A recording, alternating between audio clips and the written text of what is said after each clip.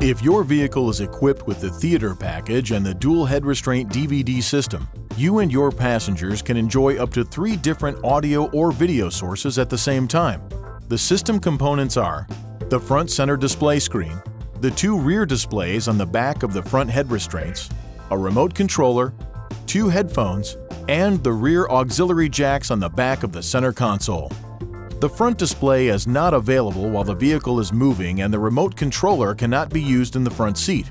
To view the images in the front seat, the shift lever must be in the park position and the parking brake applied. Sources connected to the rear auxiliary jacks can only be viewed on the rear display screens. Before connecting a device to a jack, turn off the power on the portable device. These are the wireless headphones for the rear passengers. Press this button to turn the headphones on or off. Slide this switch to the left or right to choose the left or right rear display as the source to play through the headphones.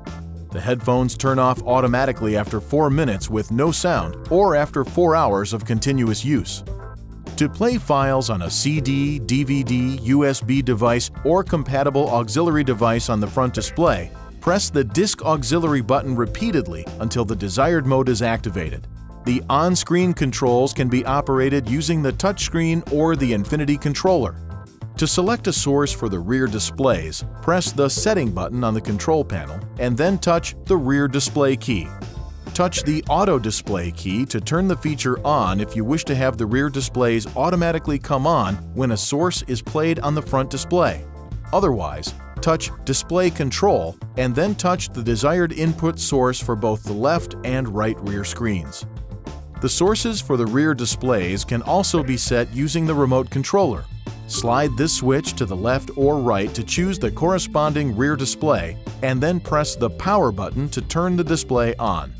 Press the source button to choose the input source for that screen.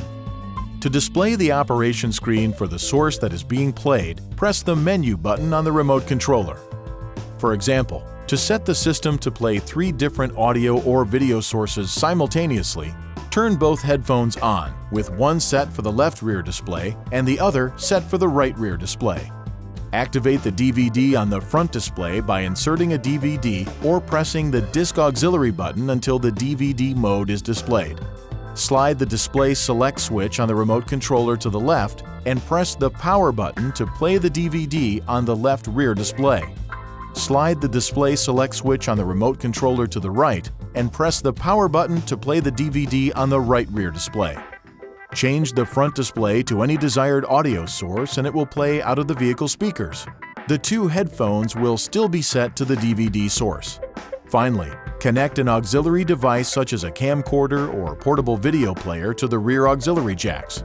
Slide the Display Select switch on the remote controller to the right and press Source to choose the rear aux mode. When complete, the front passengers can listen to an audio source through the vehicle speakers, the left rear passenger can watch a DVD and listen through the headphones, and the right rear passenger can view an auxiliary source while listening through the other pair of headphones. Please see your owner's manual for important safety information, system limitations, and additional operating information.